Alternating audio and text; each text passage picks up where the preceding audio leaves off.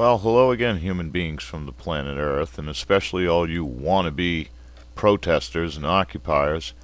Now there seems to be a website that'll train you to do this. That's right.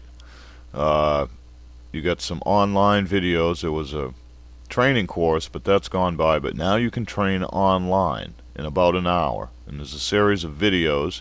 First one is uh, Power of Nonviolent Direct Action.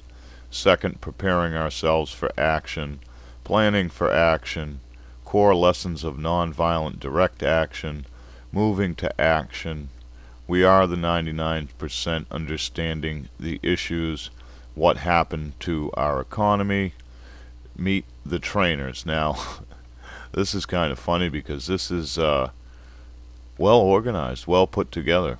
This is supposed to be a movement of the people you can't plan for that, okay?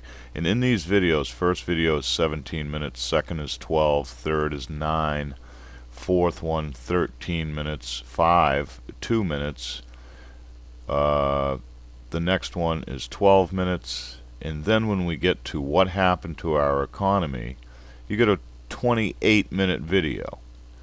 They focus more on telling you what's wrong with our economy. Is that just to piss you off?